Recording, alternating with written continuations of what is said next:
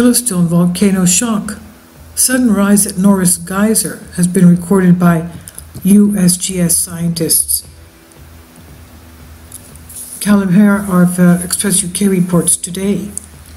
Scientists at the U.S. Geological Survey, USGS, tasked with monitoring the Yellowstone volcano, revealed during a live stream how the Norris Geyser was rising.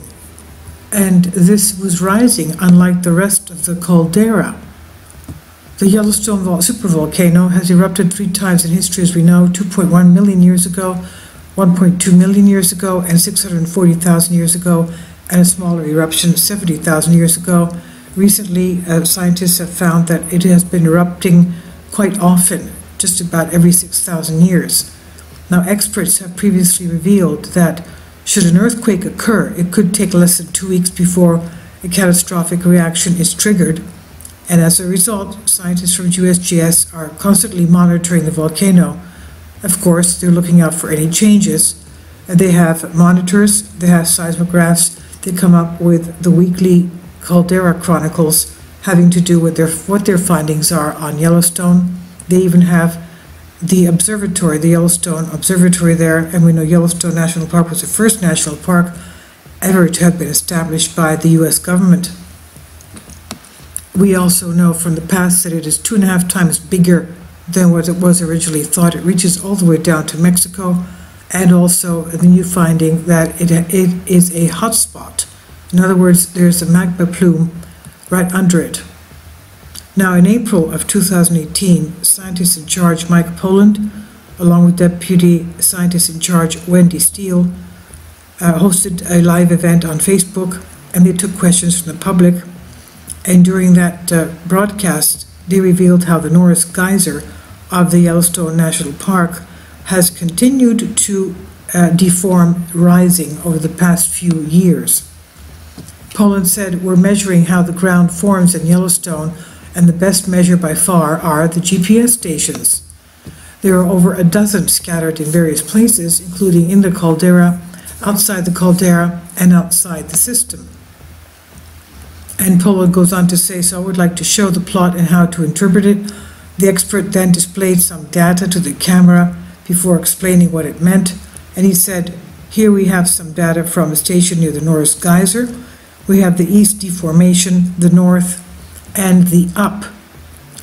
The way you interpret this is the east plot. If you see it going up, that means the station is moving to the east. And if it goes negative, it means it's moving west. If the north plot goes down, that means the station is moving south. If it goes up, it is moving north. The plot is the vertical deformation. If it goes down, then the station is subsiding and up means it is uplifting. Poland then expla- explained how the Norris Geyser was acting differently to the rest of the caldera. He says right now it is in a period of uplift moving south and east. In terms of the overall caldera, it is subsiding, but Norris has these interesting events when it shoots upwards. It's the most dynamic place in the park, and perhaps it's because of all the water that's under the surface. So we are now monitoring it, and while the caldera is going down, Norris is rising. It was revealed in 2015 how there is now an increased risk of a supervolcanic eruption by the, uh, the super, this supervolcano erupting, Yellowstone that is, by the end of this century. Dr. Michio Kaku, renowned professor and phys- of physics at the City College of New York, described the caldera as a sleeping Godzilla this is what he told Fox News in January. He said, forget the image of Yogi Bear representing Yellowstone. We're talking about a sleeping Godzilla underneath Yellowstone. If it erupts in a maximum eruption of Category 8, it will literally tear the guts out of the United States. Instead of having 50 states, we would be left with 30. So this report looked at a Category 7, which is more likely once every thousand years instead of once every million years. That means in every century, there is a 10% chance somewhere on the planet there could be a supervolcanic Category 7 eruption. Dr. Michio Kaku reminded viewers there would be plenty of time to evacuate. He said Category 7 will be many times the size of Mount St. Helens, enough to cause widespread destruction across the state, but not enough to destroy the whole of the United States. But still, it's something that we have to take very seriously now. Unlike a meteor from outer space, where you get no warning whatsoever, we get warnings. If you see movies like Pompeii, you know that there are days, in fact weeks, of eruptions building up, rumbling inside, underneath a pocket of lava, so there would be enough time, several weeks, to begin evacuations, if and when such an unlikely event were to take place. End quote.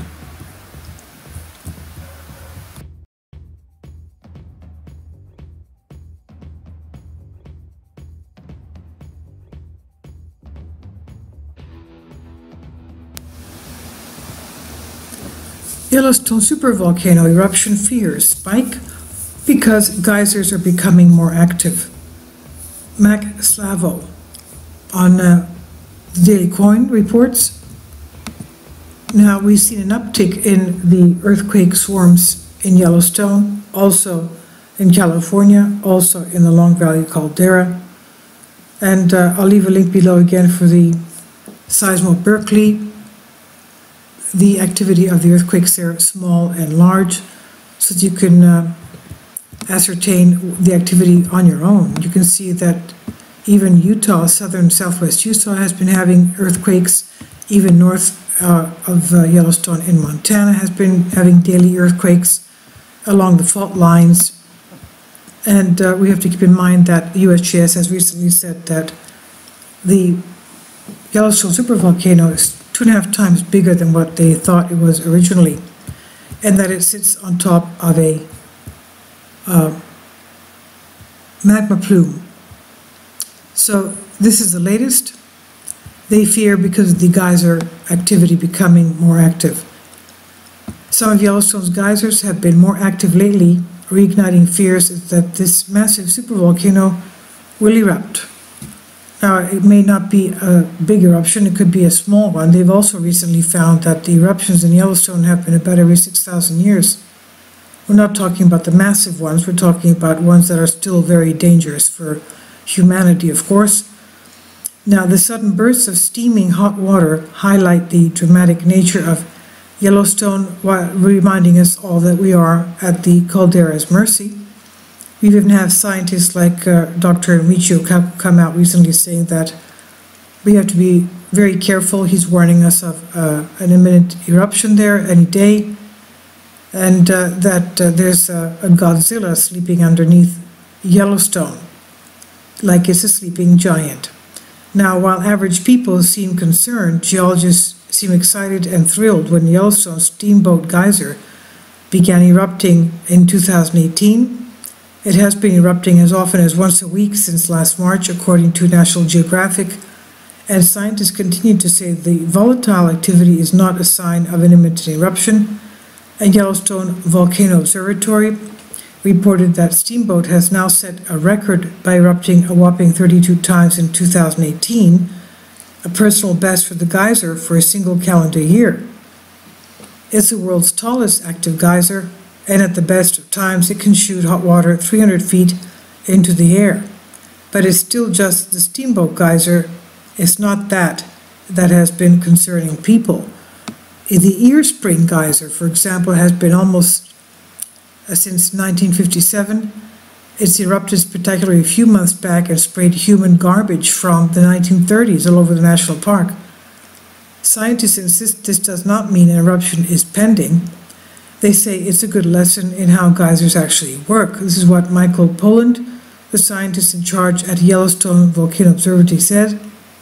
As soon as you start to recognize a pattern in the geyser's eruption, then it changes. And as far as geysers go, Steamboat is sort of typical in terms of having these sporadic, unpredictable eruptions, Poland said.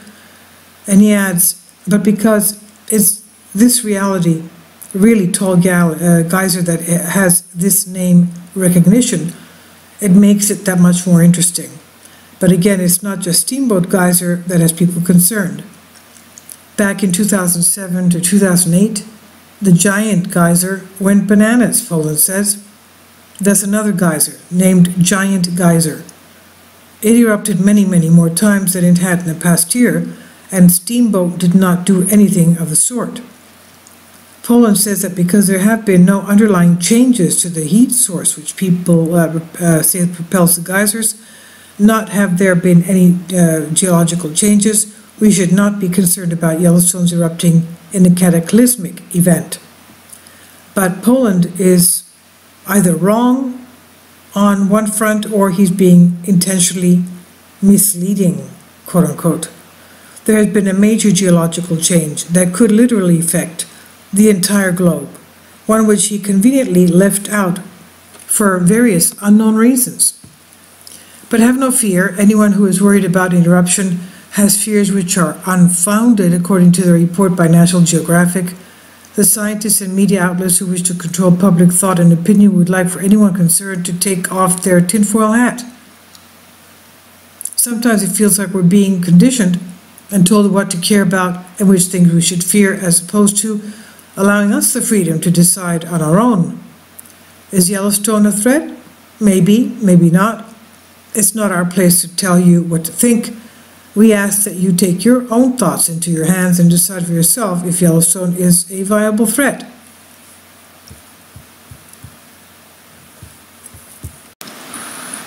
And this is now the latest concerning Yellowstone Volcano Observatory, the Caldera Chronicles that come out every week. This is the March 11th statement Bridge over troubled water, laying down infrastructure in Yellowstone's hydrothermal areas. We have here images of the Beryl Spring hydrothermal area.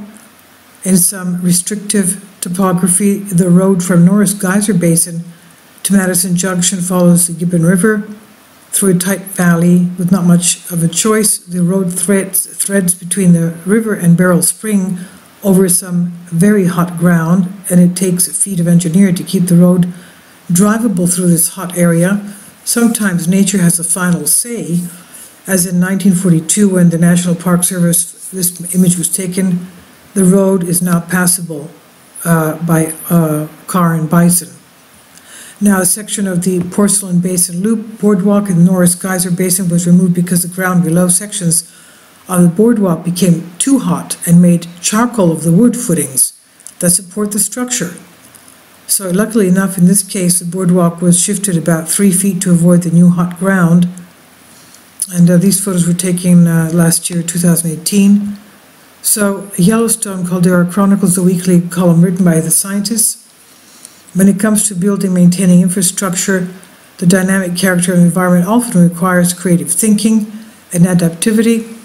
The long-term monitoring equipment and elements park infrastructure is running battle and constantly changing hydrothermal system and geological landscape, but with enough data and foresight, Yellowstone's geology team and maintenance crews can make informed decisions as to where to lay the roads and boardwalks and other facilities to make these structures as lasting and useful and safe as possible for visitors. The roadways and boardwalks that lead to visitors to the, to the Old Faithful and Grand Prismatic Spring and other iconic hydrothermal features wind through breathtaking but very hazardous terrain.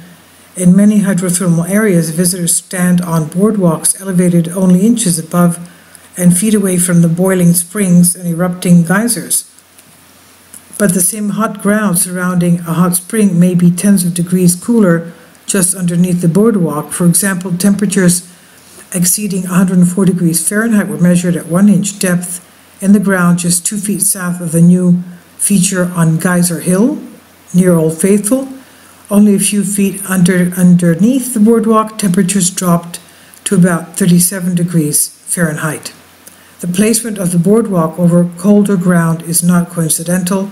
Yellowstone's geology team works closely to trail the boardwalk crews to map and meet the heat and the proposed uh, trail and boardwalk construction areas. They use thermal infrared cameras, uh, essential for safety and planning as they're monitoring Yellowstone's hydrothermal system over time. They use the IR infrared remote censored imagery to map potential paths for new roadways.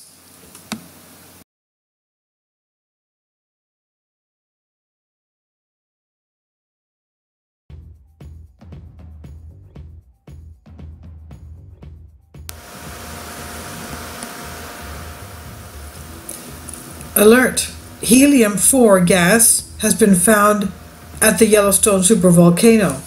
This is an explanation from U.S. Geological Survey. Royce Christyn of Newspunch reports, Is Yellowstone about to blow? From writer Lavender Rose via Before It's News, the clusters of earthquakes at the Yellowstone Park caldera is not a good sign. Take very seriously these data points and ask yourself, would you be prepared if it blew? You can watch the charts daily, and this kind of violent movement says to me, the magma is moving. Just like the supervolcano in Japan went off, the Yellowstone volcano may be next. And we recently had the Krakatoa again erupting and may be going on as well. In addition, a new vent opened up recently that goes right into Mount St. Helens. Scientists believe that the helium is slipping out of the rocks that were formed during the Archean eon about two and a half billion years ago. But now they're coming out again from Yellowstone Park, and it's not a good sign. Yellowstone releases gases ranging from carbon dioxide to methane not only was there a sudden rise in the elevation of the ground and development of new cracks, but a gas called helium-4, a very rare type of helium, has begun coming out of the surface. Bill Evans, a researcher with the USGS in Menlo Park, California, explained how the helium is released. Quote, volcanoes most always form on the edges of tectonic plates that make up the Earth's crust. Yellowstone sits directly over the middle of a plate. It's a part of the crust that formed a very long time ago, billions of years ago, and has basically been stable since that time. They've had this boring, peaceful existence, and now suddenly they're put on the front burner, he says. The animals and birds have been dying off, and now are we all in danger? This is the chemical helium 4 that was seen prior to many recent volcanoes erupting. So helium-4 emission means that an eruption is imminent. Going on with this, measurements from other GPS stations, GPS stations in northern Yellowstone show smaller displacements forming a circular pattern of deformation. Circular, as in the round mouth of a volcano. Consistent with a minor pressurization that is building up underground about 6 to 10 kilometers, that's 4 to 6 miles deep, near Norris Junction. The volcano island of El Hierro, the smallest of Spain's Canary Islands, rumbled and groaned over the course of seven months in 2011 and 2012. Gases silently percolated up through the island's soil and groundwater. Eventually, a spectacular plume appeared off the southern coast of the island, a sign that El Hierro volcano an underwater volcano just offshore had finally erupted. Quote, we believe that helium can anticipate the detection of magmatic movement even before those movements can be detected by seismic activity, said Eleazar Padron, a geochemist at Spain's Technological Institute for Renewable Energies, who led that work. Researchers have been using gas emissions to forecast volcanic eruptions for the last 30 years, but they usually focus on carbon dioxide, the second most abundant gas after water vapor in volcanic eruptions. Helium is a noble gas and is a better candidate for tracking and forecasting eruptions because it does not react with rocks or groundwater and microorganisms don't consume or produce helium. Because of these properties, helium has been considered by geochemists as an almost ideal geochemical indicator that an eruption is near. Padron and his team found that measuring the flow of helium in El Hierro Island soil and water gave them clues as to when magma under the island was moving and how close it was to the surface, both important factors in forecasting a volcanic eruption.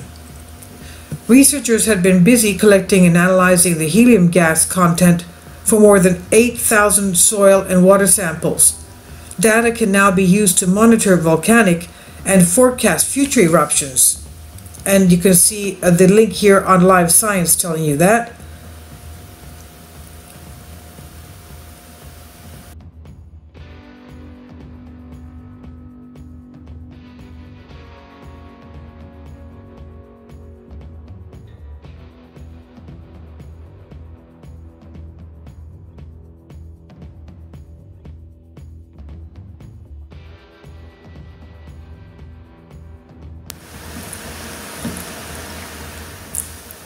If you'd like to join me on my Patreon account, you will hear content not covered by mainstream media.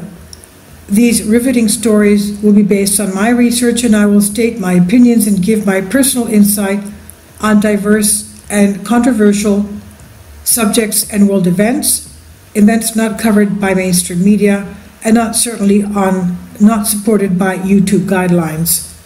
So whatever I have on my Patreon, most of those will not be on my YouTube channel. Please consider becoming a member today. More of the, the most significant and important videos will be on my Patreon channel. Your support helps me to continue my research and keeps this YouTube channel alive. And we depend on your support, your generous charity, because we help economically challenged families here in Athens, Greece, in Kapota, and we also help the young generation with university tuition and the community around our church. Thank you.